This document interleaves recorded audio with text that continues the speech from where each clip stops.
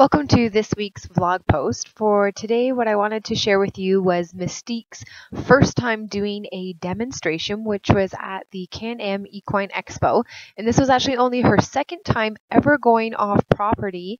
And here you can see Franny's working with her with a tarp, and she's doing a super fantastic job. And she hadn't really done any work with a tarp prior to going to Can-Am. So I'm very, very proud of her of how calm she is, how relaxed she is. She is my horse that I'm training for the thoroughbred makeover, hoping to go to the 2016 competition, which will be in October in Kentucky. And she was a racehorse just last year, and I picked her up in um, November. She started work with me a little bit of groundwork and has probably done around 20 sessions or so at this point in her training.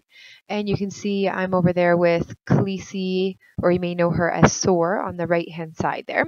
So I'm just going to show you some highlights of Mystique at the show and you'll get a few learning tips along the way too. So hang in there and enjoy.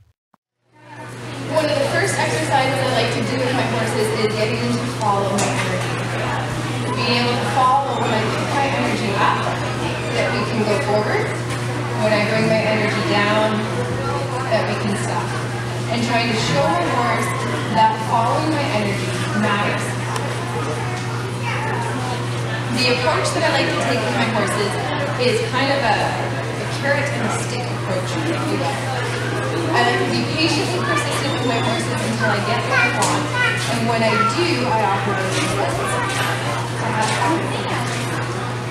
And in the beginning, I use a lot more cookies than I do towards the end.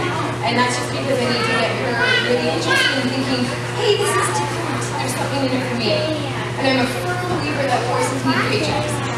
They don't show up to work just because I have a really pretty face and I pay for it. No. There needs to be something in it for her. So I need to do exercises that she's going to enjoy, and I like using treats with my horses. Treats don't work with all horses.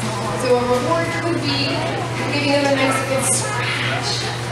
It could be doing something fun with them. It could be any of these number of things.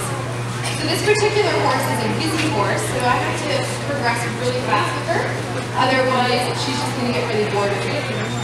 So let me show you a few little things of how I install this foundation on my horses communication focus. Anytime I put pressure on my horse, it's because there's an answer. There's something that she can do to right. So if she did something I didn't want her to do, I'm not going to go, Notice how my horse didn't so Exactly, because I don't use punishment with my horses, and the work really bad. So she has zero fear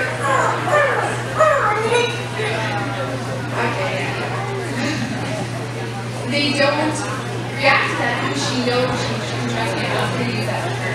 So then I have confidence with her to do a whole bunch of other things. So anytime I apply pressure, it's an.